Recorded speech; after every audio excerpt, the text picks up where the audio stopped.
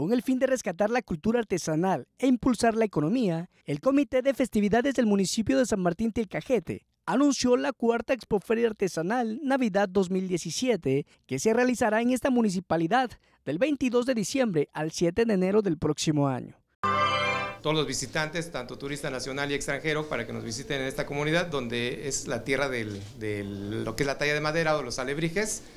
Tenemos la exhibición que inicia, perdón, la expoventa que inicia el viernes 22. Tenemos la inauguración a las 12 del día, pues para que se den cita, ¿no? Y conozcan todo lo que es la artesanía que tenemos en esta comunidad. Referente a lo que es el tema de esta temporada de Sembrina, pues tenemos lo que es también un nacimiento, que van a ser este con piezas artesanales de todos los artesanos de esta comunidad. Entonces, para que el turista vaya ya empezando a coleccionar lo que son piezas este, artesanales para formar su nacimiento, que vayan coleccionando ya cada pieza, que va a ser diferente y única.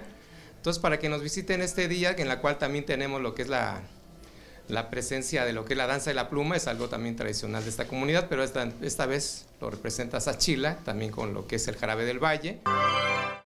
Esta expo se realizará en el marco de la temporada decembrina y los artesanos expondrán sus figuras elaboradas y talladas en madera, mismas que estarán a la venta. Algunas de ellas servirán para recoleccionarlas y colocarlas en el tradicional nacimiento.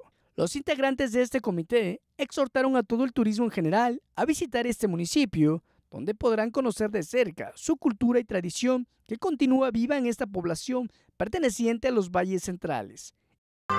Posteriormente tenemos actividades durante todos esos días, que son lo que es el taller de pinta tu alebrije, la demostración de lo que es la talla de madera, que es lo que puede ver el turista, ¿no? Este, ver esta demostración todos los días, en el horario de 10 de la mañana a 6 de la tarde.